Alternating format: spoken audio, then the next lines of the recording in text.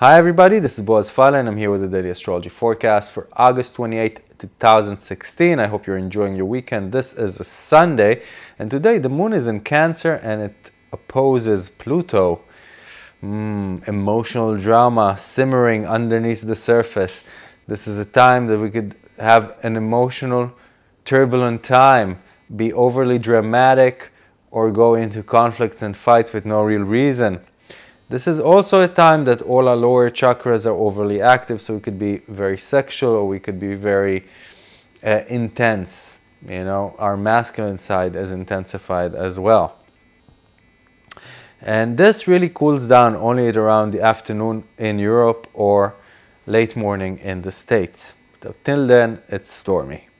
And after that, it doesn't become much better. There is an a square to Aries and Uranus from the moon uh, at around 2100 hours Central European time, that's 1500 hours Eastern Standard Time, really uh, making us all stand out and not in a positive way, making us want to be right and not smart.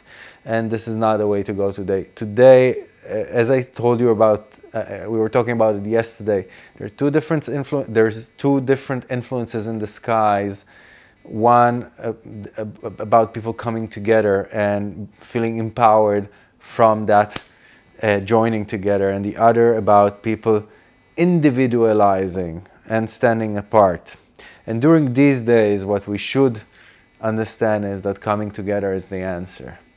Is that we could gain so much and give so much by exchanging ideas and, and, and interacting with other people than we stand to gain by being alone.